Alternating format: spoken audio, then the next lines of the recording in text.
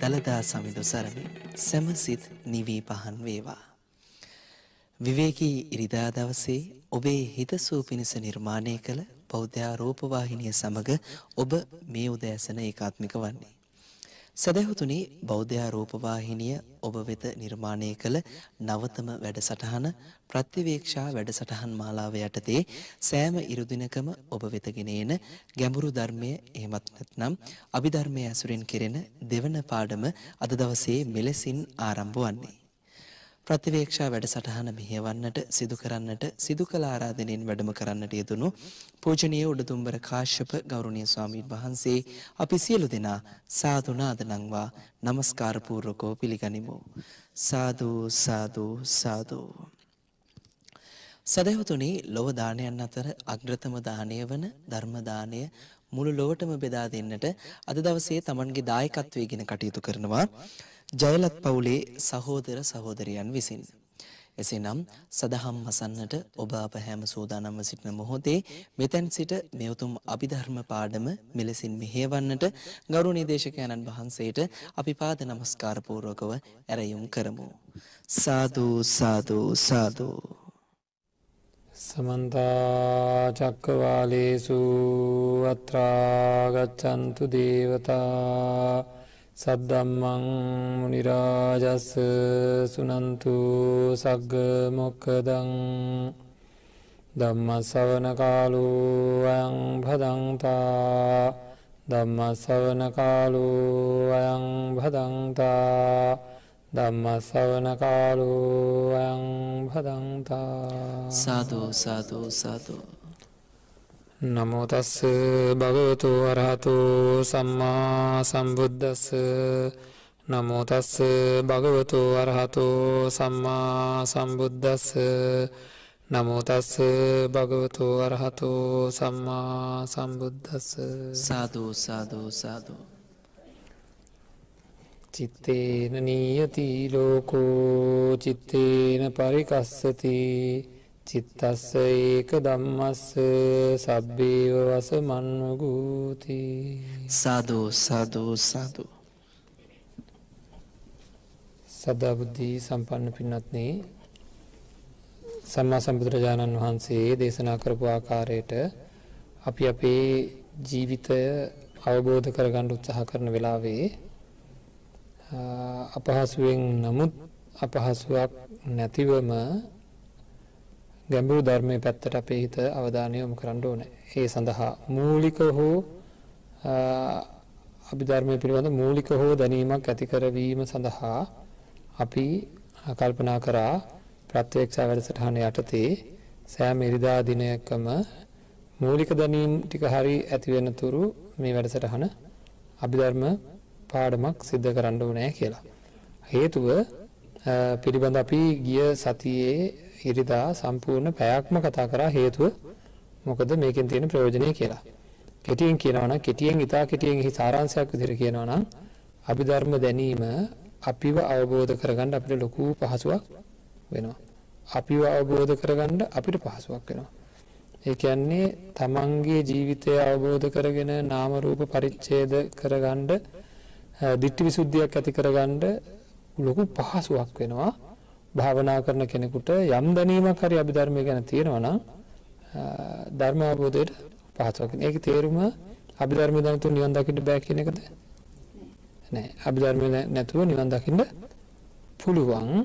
එතවට කෙනෙක් හිතයි එහම පුළුවන් ඇති මොකටදවා ඔච්චර අමාරු ඉගෙන ගන්න කියලා. නෑ. ඒක පහසුවක් එන තේරුම් ගැනීම. එතකට අපේ අභිධර්ම පාඩමේ තේරුම අභිධර්මය තුළ තියෙන කාරණා ඇසුරෙන් අපි ඉගෙනගත යුතුව තියෙනවා අනිත්‍ය මතුකරගත යුතුව තියෙනවා පරමාර්ථයන්හි මං එදා කියලා දුන්නා පරමාර්ථයන්හි අනිත්‍ය දුක්ඛ අනාත්ම ලක්ෂණයන්. එතකොට ඒක අනුපස්සනාවක් බවට පත් වෙන්නේ කියලා අපි ගිය වතාවේදී සාකච්ඡා කරා. මොනවද පරමාර්ථ කියන්නේ? චිත්ත, චෛතසික, රූප, නිබ්බාන. අභිධර්මයට අනුව පරමාර්ථ ධර්ම හතරයි. එතකොට මූලික වසයෙන් අපි දැනගණ්ඩ ඕන ප්‍රකරණ ගන්ත හතක් තියෙන අභිධර්ම පිටකේ එකක් තමයි ධර්ම සංගනී ප්‍රකරණය විභංග ප්‍රකරණය ධාතු කතා ප්‍රකරණය පුද්ගල ප්‍රඥප්ති ප්‍රකරණය කතා වස්තු ප්‍රකරණය යමක ප්‍රකරණය සහ ප්‍රස්ථාන ප්‍රකරණය කියලා. එතකොට ඒවයින් තමයි කොහෙන්ද මේ අභිධර්මය එන්න එතකොට අපි දන්නවා සූත්‍ර පිටකය විනය පිටකය අභිධර්ම පිටකය කියලා තුනක් තියෙනවා. එතකොට අභිධර්ම පිටකයේ තියෙනවා මෙන්න මේ ප්‍රකරණ ගන්ත හතක්. එතකොට ඒ ඒ ප්‍රකරණ ගන්ත හරහා තමයි අපි මේ අභිධර්මය සාකච්ඡා කෙරෙන්නේ. එතකොට මේ මේවයින් තමයි අපි ක්‍රමාණුකූලව අපේ ජීවිත අවබෝධයට කරුණු එක රාශී කරගන්නවා. කොච්චර අපහසු වුණත් මං හිතනවා හැමෝම මේ සඳහා යම් අවධානයක් යොමු කරනවා නම් යම් කිසි ඔයිට වඩා අමාරු දේවල් අපි ඉගෙනගෙන තියෙනවනේ කියලා. නේද? උත්සාහයක් යොමු කිරීම වඩා හොඳයි කියලා තියෙන එකෙන්ද අපි උපරිම උත්සාහ කරනවා තේරෙන විදිහට මේක හැබැයි තේරෙන විදිහට කියලා දෙන්න උත්සාහ කරනකොට හැබැයි පුංචි පුංචි ක්‍රියාකාරකම් වගේක් තියෙනවා. හරිද? අපි මේ හරියට රාජකාරී කරන මිනිස්සුනේ මම හැමදාම කියනවා. හැමෝටම හරියට රාජකාරී තියෙනවා. හරි ඔය රාජකාරී අතරේ අතහැරලා දාන්න නැතුව ටිකක් මහන්සි වෙන්න පුළුවන්කම තියෙන්න ඕනේ ධර්ම අවබෝධය කරගන්න. ඇයි උතර කම්මැලි වෙන වෙන ඒවට ඕන තරම් කාලය ගත කරන්න පුළුවන්කම තියෙනවා. ඒකින්ද පොඩි කාරණා කීපයක් මුලින් කටපාඩම් කරගන්න. දැන් කාලෙකින් කටපාඩම් කරේ නැහැ නේ කතේ. නේද? හ්ම් කාලෙකින් මොකුත් කටපාඩම් කරේ නැහැ. අභිධර්මය කියන්නේ අපේ ජීවිතය පිළිබඳ භාෂාවක් කියලා මම හැමදාම කියනවා. ඒක භාෂාවක් ඉගෙන ගන්නවා වගේ. ඒ ටික මතක් කරලා ඉන්නම් ආසරයක්. භාෂාවක් ඉගෙන ගන්නවා වගේ කියන්නේ ඇයි? භාෂාවක් ඉගෙන ගන්නකොට ඒ වචනයට අදාළ හඳුනා ගැනීම හරිද? දැන් මල කියලා කියනකොට අපි මල පිළිබඳව මතක් වෙන්න ඕනේ. ගහ කියනකොට ගහ කියන්නේ මොකක්ද කියලා මතක් වෙන්න ඕනේ. අන්න ඒ විදිහට අභිධර්ම විග්‍රහය සිද්ධ වෙන්නේ තමන්ගේ මනසින් වෙන්න ඕනේ. හරිද? මොකක් හරි සිතක් ගැන කියනකොට ඒක මොකක්ද කියලා කොතනද කොහොමද වෙන්නේ කියලා අපේ මනසේ නැගෙන්න ඕනේ. ඒක අපිට හොඳ පුහුණුවක්. මොකද දැන් අපිට අපි නිවන් මාර්ග දේශනාව නවත්තන්නත් එක අතකින් හේතු උනේ නවත්තලා ප්‍රත්‍යක්ෂා වැඩසටහන පටන් ගන්න හේතු උනේ අපි අසනවා විතරක් හරිද අහලා විතරක් අර ඇහෙන මට්ටමින් ජීවිතයට එකතු කරගන්න පුළුවන් සංකල්ප ටිකක් එකතු කරගත්තා. ඒතරින් එහාට ගැඹුරට යන්නේ නැහැ. මොකද 500ක් ඇහුවට පස්සේ ආය ආය තවත් 500ක් කියලා අනිත් පැත්ත හැරලා බලුවොත් නේද? ওই ටිකමයි. මොකද දැන් රසයි ඒක. අර මම ඒකට කිව්ව විටමින් කියලා. උදේට විටමින් ගන්නවා. විටමින් එකක් ගන්නවා. බෙහෙතක් බෙහෙතක් නා අනිවාර්යයිනේ. ඒට විටමින් කියන්නේ මම බලන්න දැන් ටික කාලයක් යනකොට මෙහෙම උනේ නැද්ද කියලා බලන්න.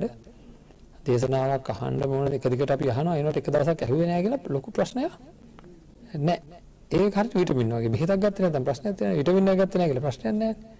ඊළඟ දවසෙන් ආවරණය වෙනවනේ. නේද? අන්න ඒ වගේ තමයි අපේ ඒකින්ද අපි අපි අර අහන්නම පුරුදු වෙයි මෙහෙම ගියානවා ඒකින්ද අපි මේක වහාම 500ෙන් නවත්තලා මොකද කරේ? කරන්න වැඩ තියෙන වැඩ පිළිවෙලක් පටන් ගමු කියලා තමයි සාකච්ඡා කරලා දැන් යන ධර්ම දේශනාව ඔක්කොම ප්‍රත්‍යවේක්ෂා වැඩසටහනේ අපි පටන් ගත්තට සන්නේ තියෙන්නෙම සමුදාය ධර්ම කරන දේවල්. හරි කරන්න දෙයක් තියෙනවා. සමුදත් කරන්න දෙයක් තියෙනවා. අඟහරුවදත් කරන්න දෙයක් තියෙනවා.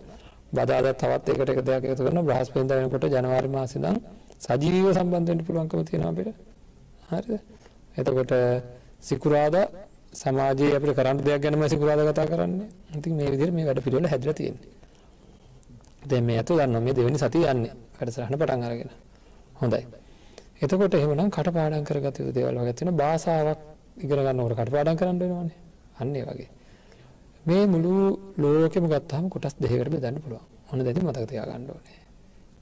ඒ සමහර ඒවාට කියනවා පරමාර්ථ කියලා. සමහර ඒවාට කියනවා ප්‍රඥප්ති කියලා. අපි ඒක ගැනත් ගිය වතාවේදී කතා කරා. ප්‍රඥප්ති කියලා කියන්නේ සත්‍ය වශයෙන් නැති වුණත් ලෝකයා විසින් ඇතැයි යන හැඟීමෙන් ඇතැයි යයි සලකන දෙයට කියනවා ප්‍රඥප්තිය කියලා. සත්‍ය වශයෙන්ම නෑ. අපි මොකද මොකද ගත්ත උදාහරණය දුම්හිඳ දියැල්ල ලක්ෂපාන් දියැල්ල. නේද? සැබෑ වශයෙන් ගත්තොත් ඒක උදාහරණයක් විතරයි. සැබෑ වශයෙන් ගත්තොත් ඇත්තටම දෙකේම තියෙන්නේ වතුර. හැබැයි අපි ඒවා දියැල්ල වශයෙන් සලකනවා. වැටෙන හැඩයට, පේන විදිහට නේද? අම්මා, තාත්තා, සහෝදරයා, ඥාතියා මේසේ පුටුව කිව්වහම ප්‍රඥප්ති. ඇයි ඒ ප්‍රඥප්ති කොට වැටෙන්නේ? ඒවා තව බිඳින්න පුළුවන්. බින්ද ගමන් වෙනස මම දක්වුවා මේ පවන්නත් අරගෙන මම ඊළඟ සැරේනකොට මිට විතරක් අරන් එනවා. එතකොට මේක ටික කියන්නේ මිටක් කියලා. ඊට පස්සේ මම මේ මිට කෑලි වලට කඩලා කෑල්ලක් අරන් එතකොට කැලි කෑල්ලක් ගෙනවා කියලා. නේද? ඒතරේ ඔක්කොම එකතු වුනහම සැබෑවට නැතුණට ඒ ඔක්කොම එකතු වුනහම ප්‍රඥාප්තිය වශයෙන් තියෙනවා. සම්මත වශයෙන් තැනම් පළවෙනිම අපි තේරුම් ගන්න ඕනේ ලෝකේ කොටස් දෙකකට බෙදෙනවා සම්මත සහ පරමාර්ථ. ඒතකොට සම්මතය බෙදාගෙන බෙදාගෙන බෙදාගෙන බෙදාගෙන බෙදාගෙන ගියොත් ඉතුරු වෙන්නේ පරමාර්ථ. හරිද? සම්මතය බෙදා බැලීමෙන් පරමාර්ථය මතු කරගන්න පුළුවන්. සම්මතය බෙදා බැලීමෙන් පරමාර්ථය මතු කරගන්න පුළුවන්. එහෙනම් දැන් අපිට තේරෙන්න ඕනේ. නේද? කුඩු කරගෙන කුඩු කරගෙන කුඩු කරගෙන යන්න පුළුවන් රූපේ නම් නේද? ඒකේ හැම රූප කලාපය ඇහැට පේන්නේ නැහැ. එහෙනම් මේ සියලු දේ අවබෝධ කරගත යුතු තියෙන්නේ මනසින්. හරිද? මේක බෙදලා එතකොට වේදනා සංඥා සංකාර විඥාන ආදී කියන අනිත් දේවල් ගත්තාම මේවා කොහොමත් ඒවා යථාභූත ස්වરૂපය නේද? එක සැරයක්වත් බෙදලා බලන්න බෑ බෙදලා බලන්න වෙන්නේ අම්මායි තාත්තායි සහෝදරයයි ඥාතියයි කියනකොට මේ රූපේ විතරද? නෑ ඒක ඇස්සේ තව එයාගේ වේදනාව වගේක් තියෙනවා, එතන සංඥා වගේක් තියෙනවා, එතන සංකාර වගේක් හැදෙනවා, එතන විඥාන පෙරහැරක් හැදෙනවා. එහෙනම් ඒවා බෙද බෙදා බලා පරමාර්ථය අල්ලගෙන පරමාර්ථයේ යථාභූත ස්වરૂපය තේරුම් ගන්න පරමාර්ථයේ අනිත්‍ය දුක්ඛ අනාත්ම තෝරගත්තා නම් නිවන් දකිනවා කියන්නේ. එහෙනම් අභිධර්මය අපිට ගොඩාක් උදව් කරනවා පරමාර්ථය බෙදා ගැනීම සඳහා. හරිද? පරමාර්ථය බෙදා බෙදා ගැනීම සඳහා අභිධර්ම දැනුම විශාල වශයෙන් හේතු වෙනවා. අපි යම් දුරක් යනද එතකොට අපිට තේරුම් ගන්න පුළුවන් වෙයි මේ මේවා මේ මොනවද? පරමාර්ථ ධර්ම වශයෙන්. එතකොට මේ ලෝකෙම තියෙන ඔක්කොම ගත්තාම මොනවයින්ද හැදිලා තියෙන්නේ? පරමාර්ථ වලින් නේද? පරමාර්ථ ධර්මයන්හි එක එක විදිහට සංයෝග වෙලා තියෙන ආකාරයට අනුව අපි ඒවට කියනවා වෙනත් වෙනත් වෙනත් වෙනත් වස්තුන් කියලා. හරි? හරි. දැන් එහෙනම් පරමාර්ථ මොනවද කියලා ඉස්සෙල්ලාම තේරුම් ගන්න ඕනේ පරමාර්ථ හතරක් තියෙනවා අභිධර්මයේ පරමාර්ථ හතර තමයි චිත්ත චෛතසික රූප නිබ්බාන කියලා. හරිද? එහෙනම් අපි අම්මාය තාත්තය සහෝදරයය ඥාතියය කියලා ඔක්කොම නේද ගස් කොළන්, ගෙවල් දොරවල් ඔය ඔක්කොම කියලා හැදිලා තියෙනව මොනවෙන්ද?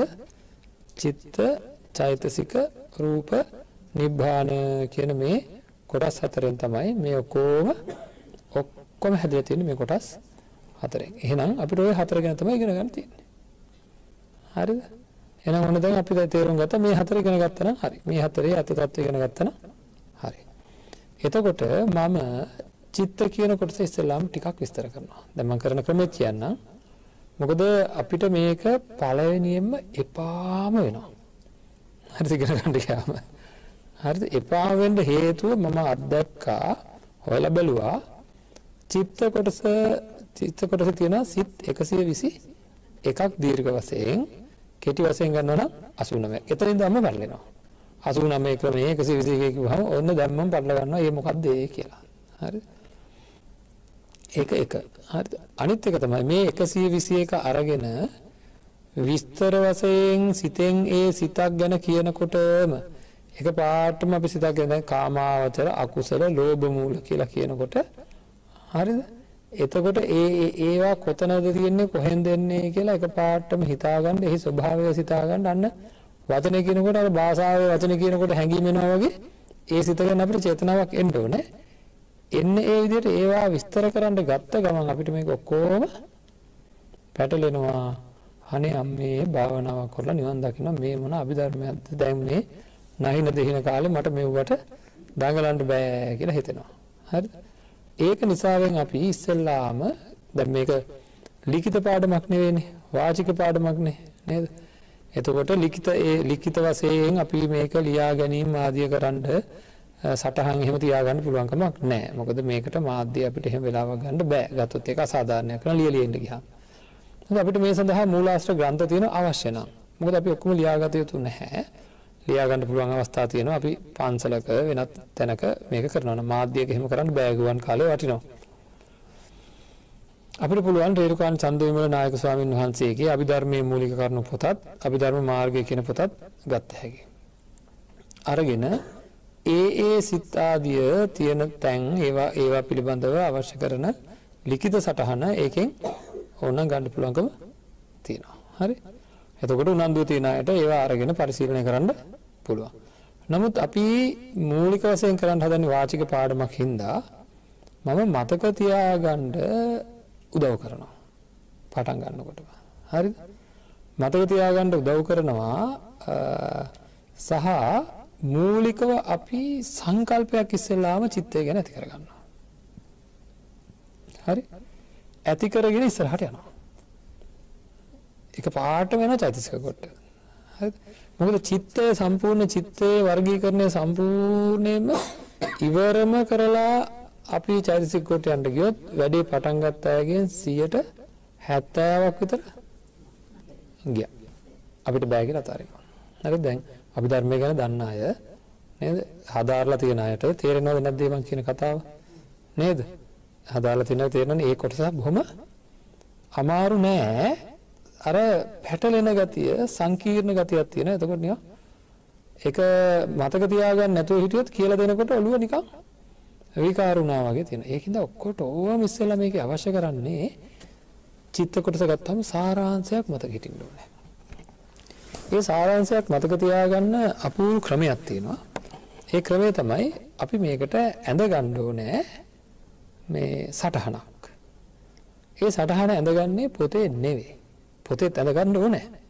ඒ සටහන අඳින්නේ සිතේ. ඉතින් සිතේ සටහන ඇඳගමු අපි. ඒක කරමු දැන් වාචික පාඩමන්නේ.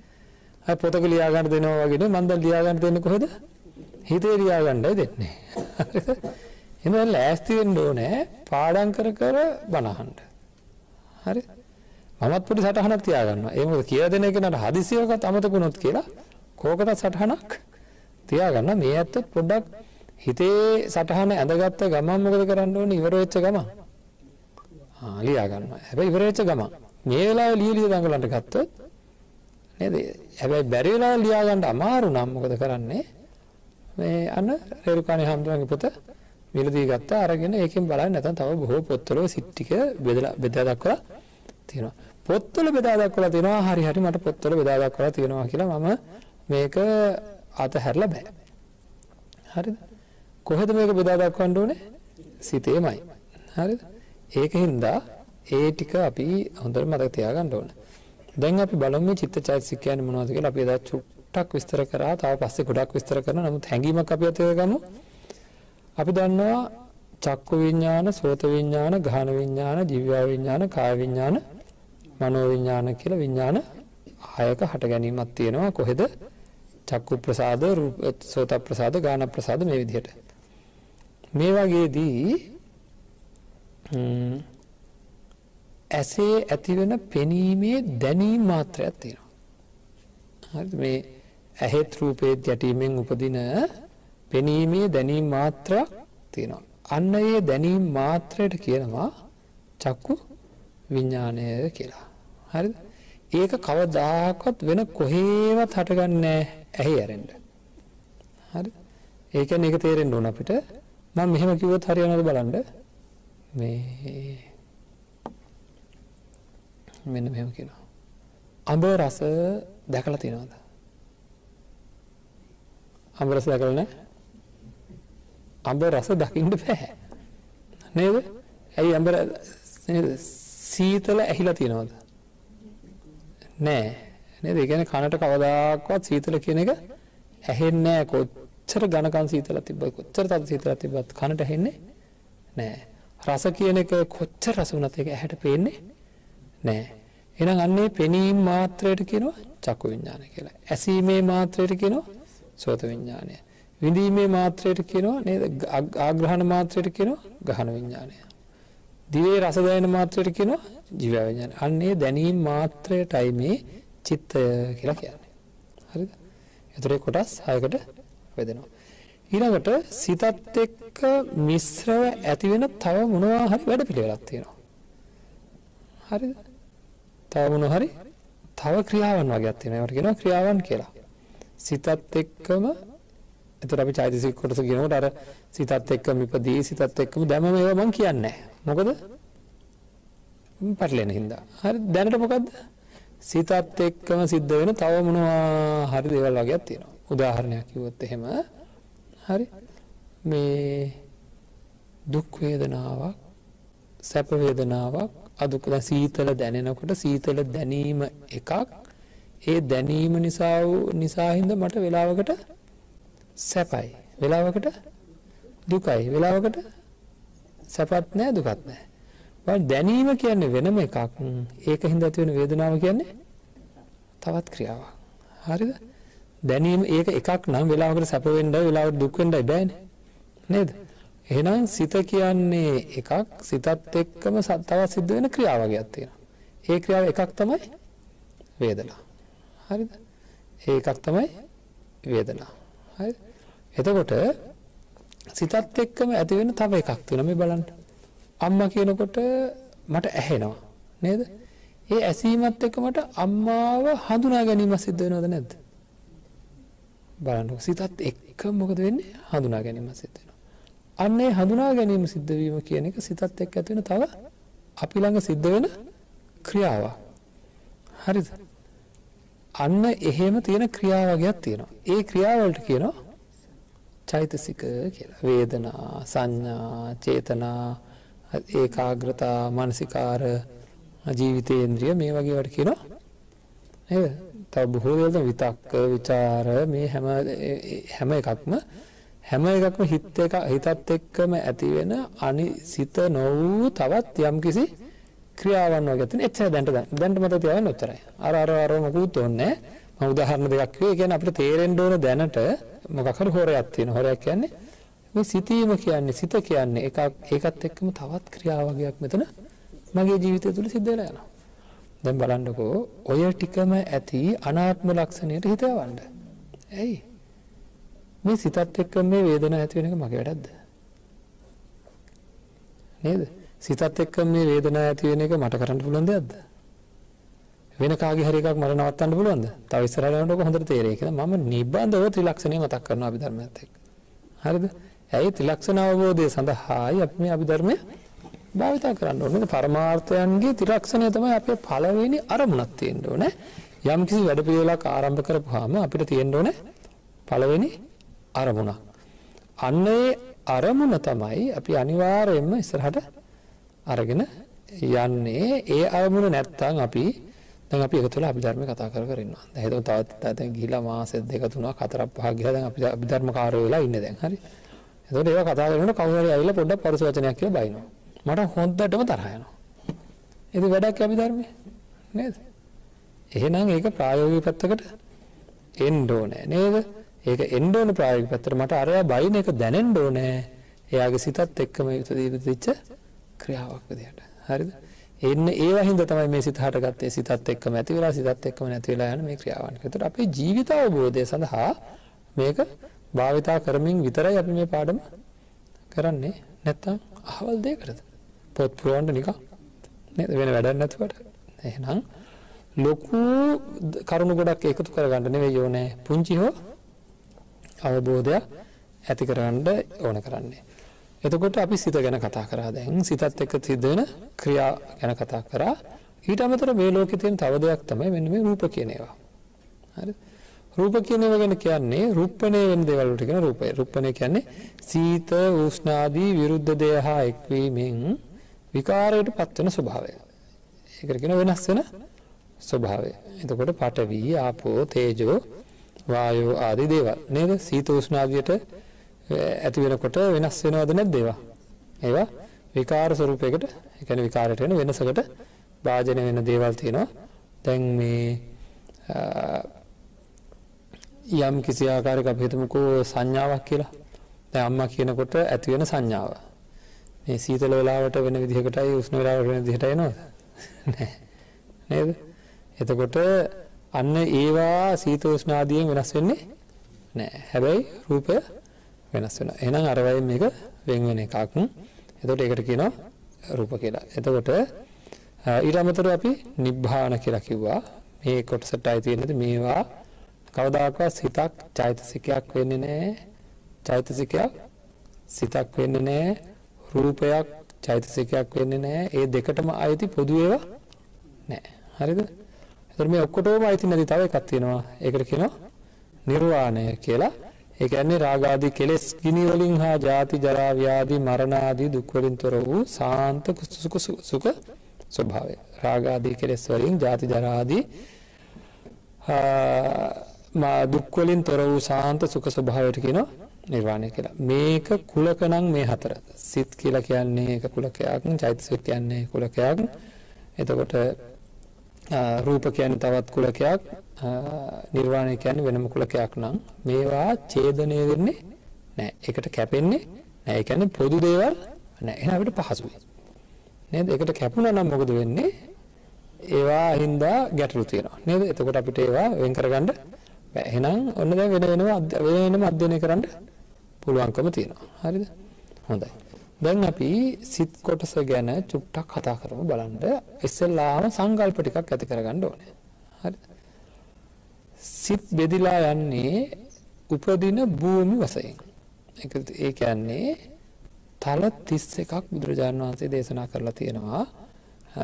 ඒ කියන්නේ ජීවියෙක්ගේ උත්පත්තිය ලැබිය හැකි තලයන් පිළිබඳව ඒ වගේ ඒ සිත් ඉපදිය හැකි තල 31ක්. ඒ උත්පත්ති ලැබෙන තැන් වශයෙන් සිත් ඉපදිය හැකි තල 31ක් දේශනා කරලා තියෙනවා. එතකොට සිත් බෙදිලා යන්නේ අන්න ඒ ක්‍රමයට.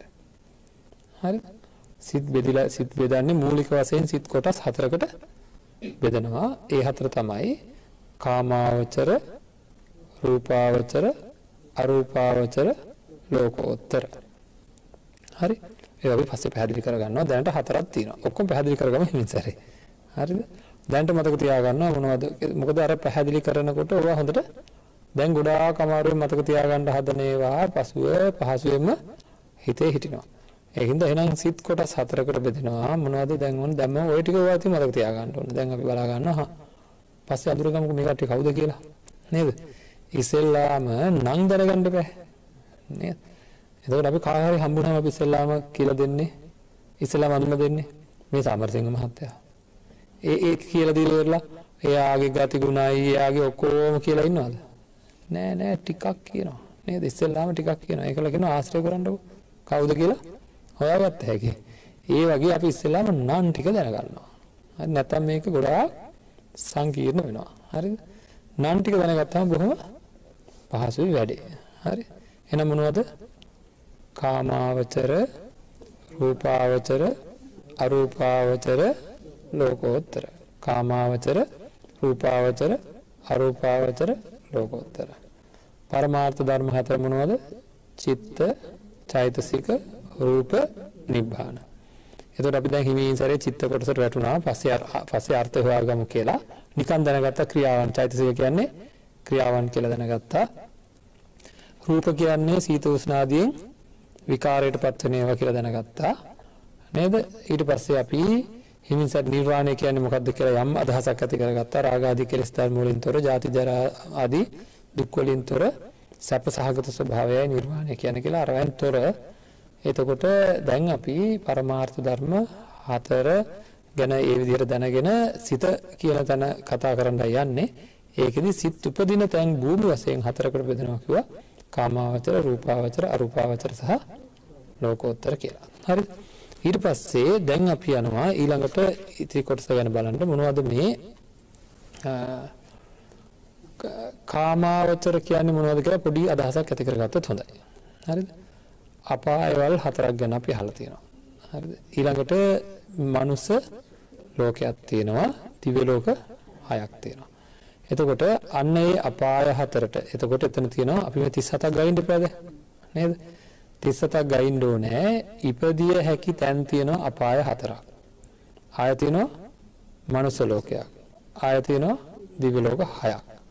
හරිද? අන්න ඒ ටික ඒ ටික නිකන් දැනගන්න. එතකොට එතන ඔක්කොම තියෙනවා 11ක් අන්න ඒ 11ට කියනවා කාම භූමි කියලා. හරිද? එතකොට ඒ කාම භූමිය වල කාම භූමියේ සත්වයන්ට උපදින සිත්වලට කියනවා කාමාවචර කියලා. හරිද? කාමාවචර කියලා කියනවා.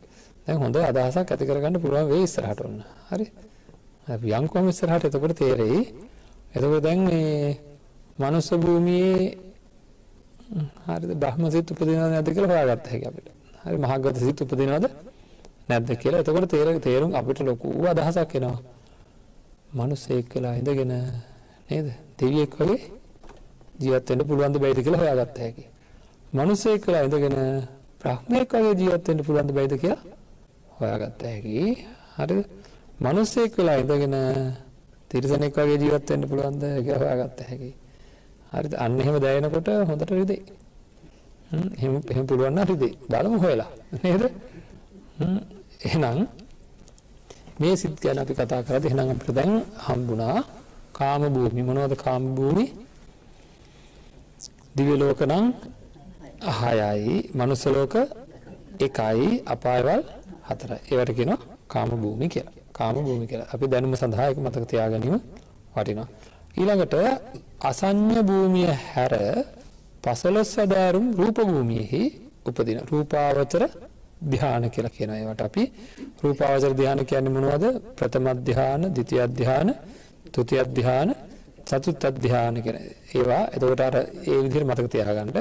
අරූපාවචර කියනකොට ආකාසඤ්ඤායතනය, ආකින්චඤ්ඤායතනය, නේව සංඥා නාසඤ්ඤායතනය, විඥානායතනය සහ නේව සංඥා නාසඤ්ඤායතනය. ආකාසා ආකාසානඤ්ඤායතනය ඊළඟට විඥානාචන් විඥා විඥානාචන් විඥානාචන් ආකාසානංචායතනය විඥානංචායතනය හරි? ආකින්චඤ්ඤා යතනය නේව සංඥා නා සංඥා යතනය කලබල වුණාම කියා ගන්න බැරි වෙනවා නේද? හොඳයි. එතකොට මේවා තමයි අරූපාවචර ලෝක. හරිද? එතකොට රූපාවචර කියන්නේ ධ්‍යාන වලට. හරිද? එතකොට මෙන්න මේවාට කියන එතකොට අසඤ්ඤ භූමිය හැර අර ඉතිරි 15ක් තියෙනවා රූපාවචර ඒ රූපාවචර භූමියේ උපදින සිත් වලට කියනවා රූපාවචර කියලා. දැන් අපි එහෙම මතක තියාගන්න. දැන්ට මතක තියාගන්න උත්තර ගොඩක් ඕනේ නැහැ මොකද කොහොමද?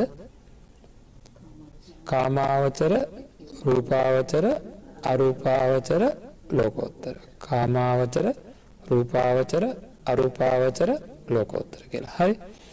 එතකොට ලෝකෝත්තර කියලා කියන්නේ ලෝකෝත්තර කියන්නේ ලෝකයෙන් එතර වෙමින් පවතින.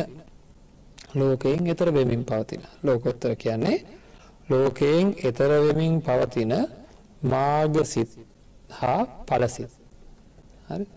මාර්ගසිත ඵලසිත වලට කියනවා ලෝකයෙන් එතර වූ සිත් වලට කියනවා ඵලසිත කියලා. ලෝකයෙන් එතර වෙමින් පවතින සිත් වලට කියනවා මාර්ගසිත කියලා. එතකොට මාර්ගසිත හතරයි ඵලසිත හතරයි එතකොට ඒවා නිකම් මම මේ දැන් දැම්ම අපි ඕක ලේසි එතකොට ඒවා ධ්‍යාන පහක් විදිහට ගන්නවා අපි ධර්මයේදී ධ්‍යාන පහක් විදිහට ගත්තාම අර ඒවා උපදින්න පුළුවන් ප්‍රථම ධ්‍යාන, ද්විතිය ධ්‍යාන, තෘතිය ධ්‍යාන, චතුර්ථ ධ්‍යාන, පංචම ධ්‍යාන කියන ඒවා. එතකොට එතන සිත් 40ක් හැදෙනවා. හරිද? සිත් 40ක් හැදෙනවා. කොහොම නමුත් කමක් නැහැ. දැනට අපි ඔක්කොම පැත්තකින් තියමු. තියලා ආය යනවා මුලට මතක හිටියද කියලා බලන්න. එහෙමයි දැන් මේ. හරිද? මේක මතක මොකද භාෂාවක් ඉගෙන ගන්න. හරි භාෂාවක් ඉගෙන ගන්න දැන් අද ඉගෙන ගන්නේ ආ යන්න, අල්මා යන්න, මා යන්න, අම්මා. නේද? එහෙමනේ. එතකොට භාෂාව ඉගෙන ගන්න මොනවද එහෙනම් අභිධර්මයේහි පරමාර්ථ සහ ප්‍රඥප්තිය. ඒතර පරමාර්ථ කොටස් හතරයි චිත්තචෛතසික රූප නිබ්බාන. එතකොට අපි ඊට පස්සේ ඒක චෛතසික කියන්නේ සිතත් එක්ක සිද්ධ වෙන ක්‍රියාවන් කියලා තේරුම් ගත්තා. රූප කියන්නේ සීතෝෂ්ණාදීන් විකාරයට පත් වෙන දේවල් කියලා ඉගෙන ගන්න. ඒ ඉගෙන ගනිමින් තමයි මේ ඉස්සරහට යන්නේ නේද? එතකොට නිවරාණය කියන්නේ දුක් ආදී නැති සුඛ ස්වභාවය නේද? ජාති ජරා ආදී දුක් නැති රාග ආදී කෙලස් ධර්ම වලින් තොර වූ සුඛ ස්වභාවය. ඊට පස්සේ සිත් ගැන කතා කරා. ඒ සිත් කොට භූමි වශයෙන් කොටස් හතරකට බෙදෙනවා කිව්වා.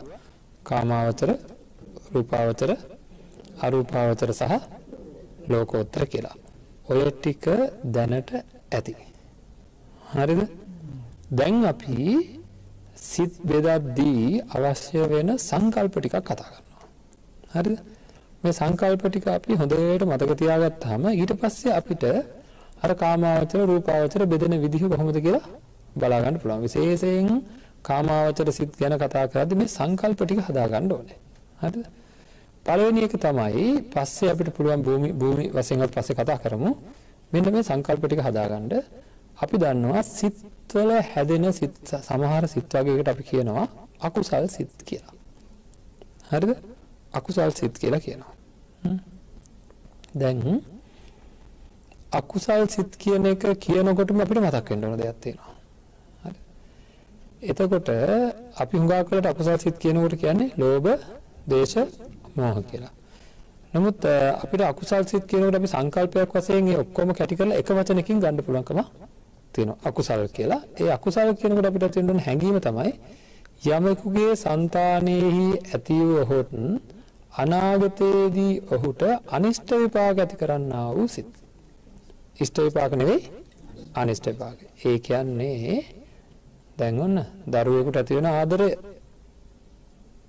කියන්නේ ලෝභයක්. එහෙනම් ඒක කුසලයක්ද අකුසලයක්ද? අකුසල අනිෂ්ට විපාක ඇති කරන්නේ. ඇයි? නිවනට බාධාවක්. හරිද? සසර යන්න හේතුවක්.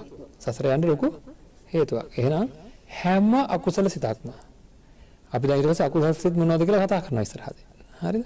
එතකොට හොඳට බෙදා ගන්න පුළුවන්. සමහර ඒවා සන්තෝෂය ඇති වෙන අකුසල් සිත් වගේක් තියෙනවා. නේද? සමහර ඒවා නේද? දෝෂය ඇති වෙන සන්තෝෂය ඇති වෙන අකුසල් සිත් වල අපි ඇලෙනවා. ඔන්න හොඳට හොයාගත්තා. දැන් ඉස්සරහට සිත් බෙදලා යන විදිය දැන් ආස හිතෙන්න ඕන. ඇත්ත නේනම් මේක හොයාගන්න ඕන මට. එතකොට මේ භාෂාව දැනගත්තට පස්සේ ඔන්න අපේ ජීවිතේ ජීවත් කරනකොට අපිට ආ මට මේ සෝමනස්ස සහගත නේද? මේ ඉපදුනේ අකුසලයක් කියලා දන්නවා. එහෙනම් අකුසල ගැන දැනගෙන ජීවත් වෙන්න පුළුවන් අපි ධර්මය දන්න කෙනාට. ඉතින් මොකවත් ඕනේ අපිට අපිව තේරෙන මට්ටම එක කිව්වේ. මට මාව වැටහෙන ගානට එනතුරු අභිධර්ම ඉගෙන ගන්න. ඊට පස්සේ අතහැරලා දාන්න. ජීවිතේට නේද අඩුම ගන්න ජීවිතේට ඕන කරන මූලික සංකල්ප ටිකවත් ඇති කර. එහෙනම් යම් సంతානයක ඉපදුනොත් යම් సంతානයක ඉපදුනොත් අනාගතයේදී ඔහුට විපාක වශයෙන් අනිෂ්ට විපාක ඇති කරන ඇති කරන්නා වූ සිතක් තියෙනවා නම් ඒකට කියනවා අකුසල් සිත් කියලා. හරිද? ඊළඟට තියෙනවා ඒකෙම ලෝභ මූල අකුසල් සිත් ගැන ඉගෙන ගන්නට අපි ඒක බෙදමු. අකුසල් සිත් තමයි ලෝභ මූල වශයෙන් බෙදෙන්නේ. ඒක පස්සේ අපි කතා කරනවා. ලෝභ මූල සිත් ඇති වෙන ලවල් තියෙනවා. ලෝභ මූල සිත් කියන්නේ මොනවද? කිව්වා මොකක්ද ලෝභ ලෝභ ලෝභ කියනකොට හරිද අපි නිකන් ලෝභ කියලා නිකන් හරිද නමුත් අපිට ලෝභ මූල කියනකොට හරිම හැඟීමක් එන්න ඕනේ මොකක්ද මේ ලෝභය කියන්නේ මේ මේ දේ හොඳයි මේ මේ දේ මිහිරි වශයෙන් අපේ හිත යම් දෙයකට ඇලුම් කරනවා නම් මොනවා හරි කාරණාවකින්ද හිතක් උපදිනකොට ඒ උපදින හිත හරි ඒ උපදින හිත ඒ යම් යම් දෙයකට ඇලුම් කරනවා නම්. ඇලුම් කරනවා කියන දන්නවනේ. නේද? නැවත නැවත දැකීමේ නැවත නැවත ඇසීමේ නැවත එහෙනම් අන්න ඒ ඒක අකුසල් සිතක් ඒක ලෝභ සිතක් එහෙම ඒ ඇලුම් කරන සිතක් ඉපදුනොත් ඉඩමකට ගෙදරකට ඕනම දෙයකට ඉපදුනොත් ඒක එනම් අනිෂ්ට විපාක ලබා දෙනවා කෙනෙකුට ඒකයි අපි මේ සසර දුක් විඳින්නේ මෙච්චර. ඒ මේ විපාක තමයි මේ විඳින්නේ. හරිද? සංසාර ජීවිතේ ඇලි ඇලි ඇලි ඇලි ඇලිච්ච සිත් පහළ වෙනකොට හොයාගත්තේ නැහැ. හොයාගන්නත් හොඳයි මිහිරි වගේ තේරුණේ. හරිද? එතකොට මේක මිහිරි යන්න ඇහුණානේ. මේ දේ හොඳය, මේ දේ මිහිරිය, මේ දේ සුබය කියලා යම් යම් දේවල් වලට ඇලෙන සිතක් උපදිනවා නම් අන්න ඒවට කියනවා ලෝභ ලෝභ මූල සිත් කියලා. හරිද? එතකොට අපේ ලෝභ මූල සිත් උපදිනවද නැද්ද? අයන අභිධර්මය තුළින් අපි අපි අපිව විශ්ලේෂණය වෙනවද නැද්ද? ආයේ වගේ නේද? එහෙනම් මේක කොහේ කිව්වද? දිව්‍ය ලෝකේ කිව්වද? මාතෘ දිව්‍ය රාජාට කිව්වද? අනම්මනම් ඒවෙන් අපිට වඩා දැන් කලින්ම කිව්වනේ ඒව පස්සේ හොයාගමු. අපි ඕක ගැන තර්ක කරලා ලොකු යුද්ධයක් කරමු අභිධර්ම ඉගෙන ගත්තට පස්සේ නේද? නැත්තම් වෙන්නේ මොකද? කලින්ම තීරණයකට ඇවිල්ලා නේද? මේ දැන් ඕකට මම මෙහෙම කියන්නම්. මේ වෛද්‍ය විද්‍යාව තියෙනව නේද? මේ ලෙඩ හොඳ කරන දේවල්. සමහරවිට වර්ධිනවද නැද්ද? බෙහෙත් කාලෙන් කාලට වෙනස් කරනවද නැද්ද? මේ ඕක ඉගෙන ගන්න ගියාම අපි හොයනවාද කොහෙන්ද මේක ආවේ කියලා. කවුද මේක පටන් ගත්තේ කියලා. ඒක නේතරම් උනන්දුව නෑ. හැබැයි බෙහෙත් ටික ගන්නවා අපි. නේද? ඉගෙන ගන්න අයත් ඒව ගැන නේතරම් හොයන්නේ නෑ. එහෙනම් ඉස්සෙල්ලා ඒ වැඩේ කරනවා. කරපුවාම ඒකේ යම් ප්‍රමාණයකට ප්‍රයෝජනයක් තියෙනවා. 100%ක්ම හරියන්නේ නැහැ. නමුත් යම් ප්‍රමාණයකට වැඩිපුර ප්‍රමාණයක් හරියනවා. ඒත් අභිධර්මයේ ගත්තාම අපිට වැඩිපුර ප්‍රමාණයක් අපේ ජීවිතේට එකතු කරගන්න පුළුවන් නම් ඒක අපිට ලොකු ප්‍රශ්නයක් වෙන්නේ නැහැ. නේද? දැම්මම තේරෙනවද පොඩි වෙනසක්? නේද? දැම්මම තේරෙනව නේද පොඩි වෙනසක්? හ්ම්. අන්න එහෙම වෙනසක් තේරෙන්න ඕන. ආකල්ප වෙනසක් තේරෙන්න ඕන. එතකොට ඊළඟට තියෙනවා දේශ මූල සිත් කියලා. දේශ මූල සිත් කියන්නේ මොකද්ද? සිතින් මොනවා හරි අරමුණක් ගන්නකොට අපේ හිත ඒ අරමුණත් එක්ක විරුද්ධ වෙන නොකමැති වෙන ස්වභාවය. හරි ඒ හිත අරමුණක් ගන්නවා ඒ හිත උපදින්නේම නිකන් ගැටෙන ගතිය. විරුද්ධ වෙන නොකමැති වෙන ස්වභාවය තියෙනවා. අන්න ඒවට කියනවා දේශ මූල සිත් කියලා. මේ ඒවනම් ඇති වෙලා නැහැ නේද? හ්ම්, කැස්සක් ආපුවාම වෙන කෙනෙකුට නේද? හ්ම්, එතකොට ම- මට අර බලන්න දැන් මට්කෙන් කිසිම අවසරයක් ඇතුවද ලෝභ මූල සිත් උපදින්නේ? මගෙන් කිසිම අවසරයක් ඇතුවද මේ ගැටෙන සිත් උපදින්නේ? නෑ ඒක මේ ඒක මේ නිකන් උපකරණයක් වගේ. දැන් අපිට තේරෙන්න පටන් ගන්නවා අපි ධර්ම ඉගෙන ගන්න කෙනාට නේද? උපකරණයක් වගේ. මේක යම්කිසි උපකරණයක් වගේ.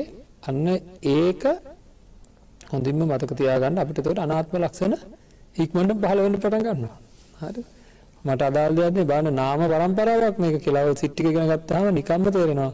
මට අයිතියක් නැතුව එකක් පිටිපස්සේ එකක් පිටිපස්සේ එකක් පිටිපස්සේ යන සිත නේද සිත් ගොඩක් මේක කියලා සිත් ගොඩක් අපේ අම්මා කියන්නේ සිත් ගොඩක්. එයාට වෙලාවකට දේශ මූල සිත් උපදිනවා වෙලාවකට ලෝභ මූල සිත් උපදිනවා තව ඉස්සරහට යන්කෝ නේද? අන්න එහෙම විශ්ලේෂණය වෙලා පේන්න පටන් ගන්නවා මේ භාෂාව දන්න අයට. හරිද? ඒක මම මේ ටිකක් මූලදී මේකට උනන්දු ඇති වෙන්නේ නේද? ඔක දන්නවා අර රෙදි විකුණන මිනිස්සුත් එහෙමයි. නේද? රෙදි විකුණන මිනිස්සු පවා මොකද කරන්නේ?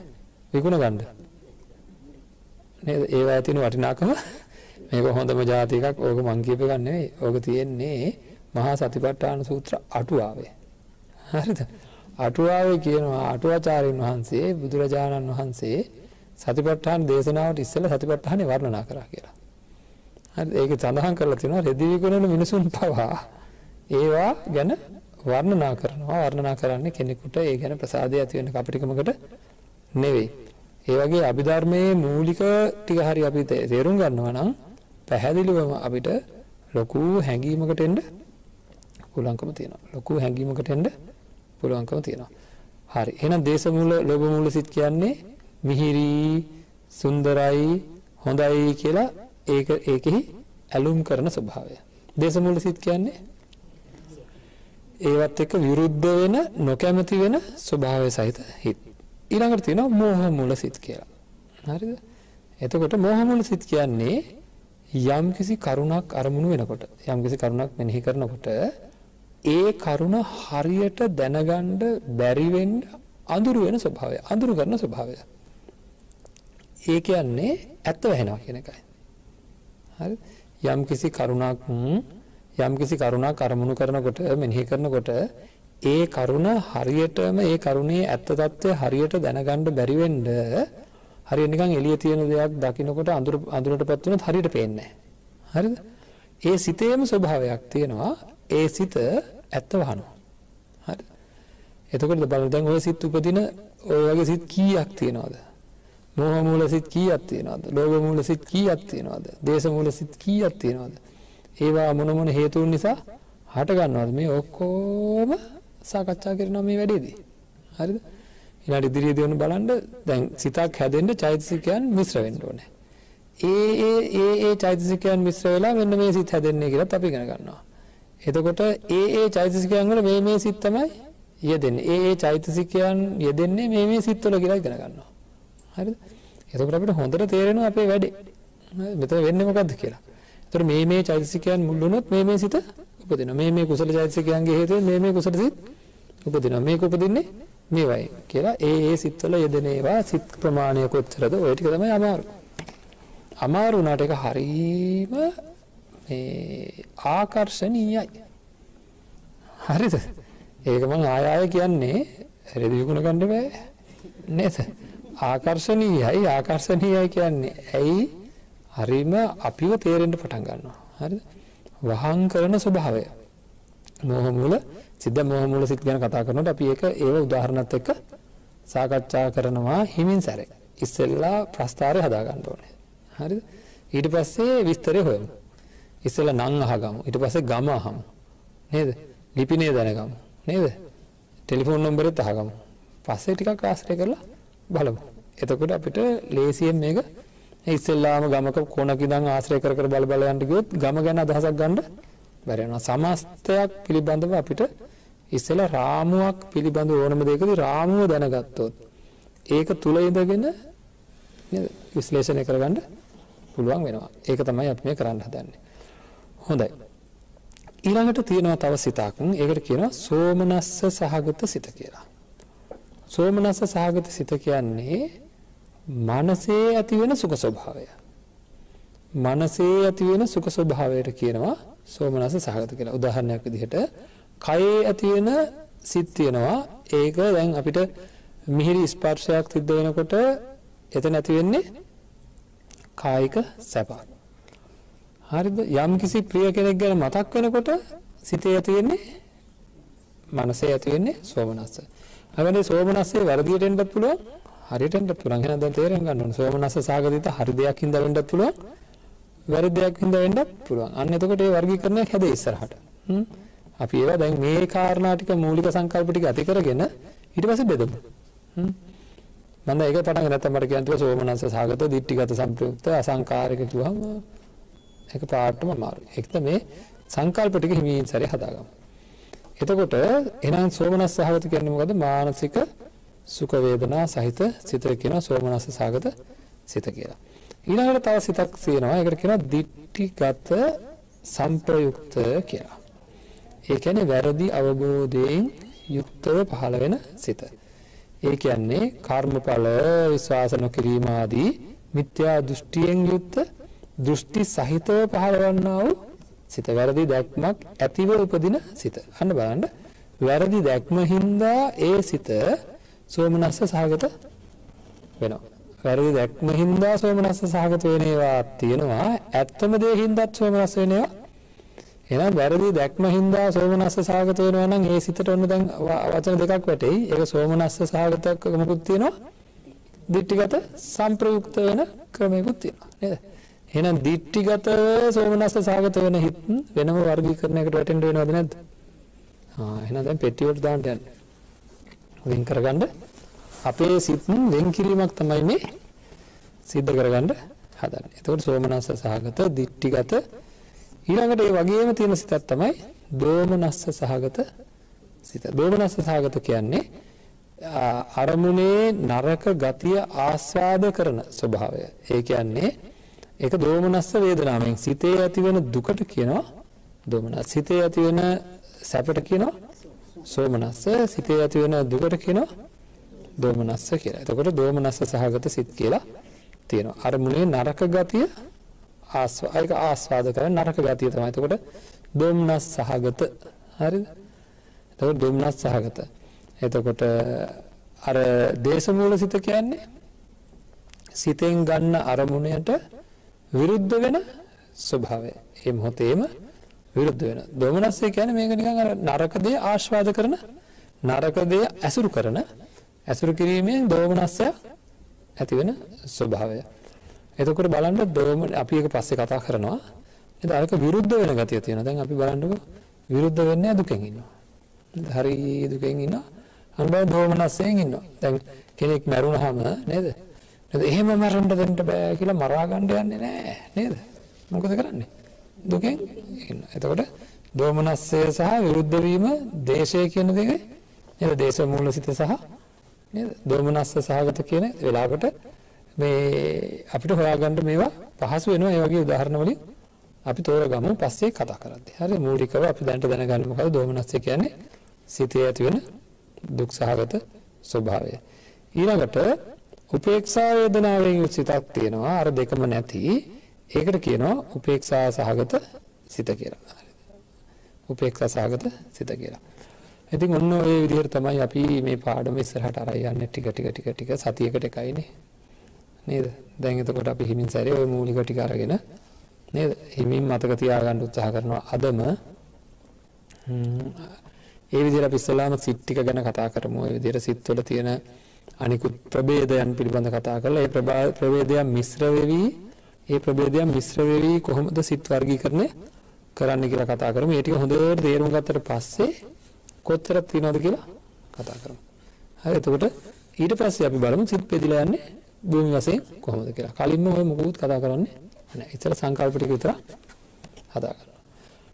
හොඳයි. මම හිතනවා අ, කාටත් උනන්දුවක් ඇති වෙන්න ඇති. මගේ ව්‍යාපාරය සාර්ථක ඇති කියලා මේ අභිධර්මයේ ඉගෙන ගන්න කැමැත්තක් නැති අයට නේද කැමැත්තක් ඇති කරවීම මේ මගේ අරමුණක් තියෙනවා. ඉතින් අ, ඒ මොකද ඒක අපේ ජීවිතවලට එකතු කරගන්න ඕන ඒක ආස හිතන දෙයක් ඉඳ. උනන්දුවක් ඇති වුණා නම් මගේ බිස්නස් ට්‍රික්ස් හොඳයි. එහෙම වුණොත් නේද? ඒ කියන්නේ බලමු අපි මොකද වෙන්නේ කියලා කාට හරි හිතුණා නම් මම හිතනවා මේක හොයන්න ඕනේ කියලා හිතෙන්න ඕනේ. නැත්නම් මේක ඔළුව රදයක් නෙවෙයි කියලා හිතෙන්න ඕනේ. නේද? ඒක තමයි අපි ගන්න මේ පුංචි උත්සාහය ගන්න මොකටද? සැබෑම නිවැරදිම වෙනසක් සඳහා. ප්‍රත්‍යවේක්ෂාව මොකටද? නිවැරදිම වෙනසක් සඳහා. එතකොට අපේ සිත් වෙනස් වෙන්න ඕන. අපේ සිතුවිලි වෙනස් වෙන්න ඕනේ. ඒ සඳහා තමයි අපි උත්සාහ කරන්නේ. ඉතින් අද දවසේ අ, මේ වැඩසටහන සඳහා අ, තමන්ගේ ප්‍රතිබල දායකත්වයේ දරපු අය නිසාවෙන් තමයි අපිට මේ වැඩසටහන අ, ස්- ඉදිරියට අ, හැම වෙලාවටම ඇහෙන්න අ, නිවසට අරගෙන එන්න පුළුවන් වුණේ ඉතාම කෙටියෙන් තමන්ගේ අදහස් සඳහන් කරමින් තමයි අද දවසේ දායකත්වයේ දරණ අය කටයුතු කරලා තියෙන්නේ. සියලු දෙනාටම චතුරාර්ය සත්‍ය ධර්මය අවබෝධ වීම පිණිස දෙමාපියන් ඇතුළු සැමටම පුණ්‍ය අනුමෝදනා කිරීම පිණිස කියලායි සඳහන් කරලා තියෙන්නේ. අද දායකත්වයේ දරන්නේ ජයලත් සහෝදර සහෝදරයන් ඇතුළු පිරිස කියලා සඳහන් කරලා තියෙනවා. එච්චරයි. ඉතින් හැම ලක්වාසී ලෝකවාසී සියලු දෙනාටම උතුම් ධර්මය අවබෝධ වේවා කියන පරම චේතනාවෙන් තමයි මේ ඇත්තෝ මේ ධර්ම දේශනාවේ දායකත්වය දරන්නේ. ඉතින් අ, ඒ අය වෙනුවෙන් අපි ප්‍රාර්ථනා කරමු සුජීවත්ව වාසය කරන හැම දිනාටම නිදුක් නිරෝගී චිර ජීවනය ලැබේවා. මේ පරිලෝකීය අත්තන්ට මේ පින් අනුමෝදන් වේවා. හැම දිනාටම මේ ධර්ම දානමය පුණ්‍ය කර්මය උතුම් නිවනින් සැනසෙන්න හේතුවක්ම වේවා කියලා ප්‍රාර්ථනා කරමු. ආකාසට්ටා චුම්මට්ටා දේවා නාග මහිද්దికා පුඤ්ඤන්තං අනුමෝදිත්වා චිරං රක්ඛන්තු ශාසනං චිරං රක්ඛන්තු දේශනං චිරං රක්ඛන්තු මං පරන්ති හොඳයි හැම දිනාටම තෙරුවන් සරණයි.